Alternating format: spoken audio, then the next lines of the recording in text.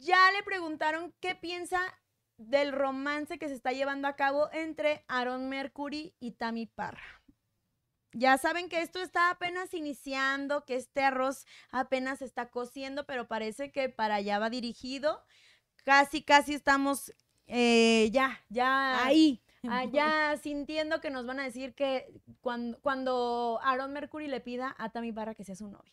Casi, casi. Pero bueno, esto no ha pasado. El punto es que parece que ya se está llevando un romance a cabo y le preguntaron, pues ya saben, a Jerry Moa qué pensaba sobre esto, porque la gente le gusta ver arder el mundo, les gusta involucrar a gente que nada tiene que ver ya y de todas formas. Pero ¿tú ahí qué estamos. piensas? Pero está bien, como es la ex, pues bueno. Y el punto es que Jerry Moa dijo, ¿para, ¿para qué me preguntan de eso? Oigan, ay no, es que no sé por qué me preguntan de Ay, eso. manas. Ay, manas. Dijo, pero bueno, qué bueno. Qué bueno que él ya está pasando su página. Creo que ya todos tenemos que seguir adelante con nuestra vida. Ojalá de ahí hagan algo bonito. Dijo, ojalá sí, sí hagan este eh, clic bonito.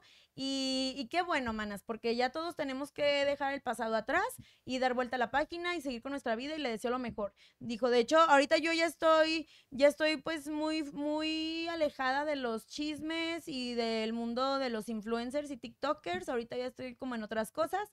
eh, pero pues independientemente de eso, yo le deseo pues lo mejor a Aaron Mercury.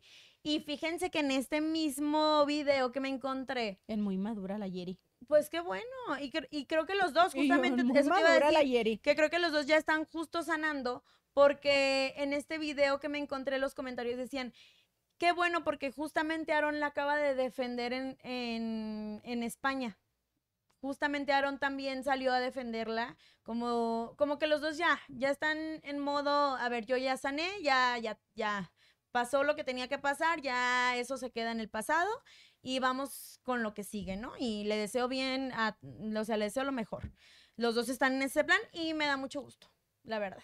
Son de las cosas que, que le debe de reconocer uno a la Yerimoa, que después de tanto como que se habló mal de ella, de, ay, no, es que ella solo busca, que está, está prácticamente madurando en la cuestión de ya se fue, ya no, no se dio y vámonos. No hay que hablar de esa persona, ¿no? Pero es, es muy chistoso porque con Aaron Mercury como que logró cerrar bien eso, a pesar de cómo se dieron las cosas, a comparación, por ejemplo, de cuando el Paponas, que también andan diciendo que la Yerimoa, ay, voy a investigar eso para traérselos, andan diciendo que la Yerimoa recientemente se pudo haber visto con el Brian Villegas, o sea, con el Paponas, que porque ahí las historias y todo coincidía y pastelitos y demás. Pues quién Uy, sabe. al rato, quién Mira, dice sabe. Sara Barriga, Ma- Barriga, oye, Yerimua no es su ex, no es su nada. Pues sí, porque no, nunca hubo un título como tal de, ay, quieres ser mi novia, pero sí salían y estaban juntos. Pero sí, O sea, está, sí estuvieron Ajá, o sea, juntos. sí estuvieron juntos. Realmente ellos afirman, fue lo que pasó, que Yerima dice, pues es que él nunca me dijo que quisiera ser su novia, entonces para mí no es nada. Pues sí, pero es como él dice, entonces, ¿cómo le llamas nada a que siempre estábamos juntos, a que teníamos intimidad juntos, a que, a que a veces ya estábamos todo el día y dormíamos juntos en el mismo lugar? Claro. Entonces, sí, ven la sí, importancia de la sí. comunicación, la comunicación entre las relaciones, porque luego no estamos en el mismo canal y por eso se dan los, male- los malos entendidos. Pero bueno, hasta aquí llegó esta información, Chimino, córtale ahí.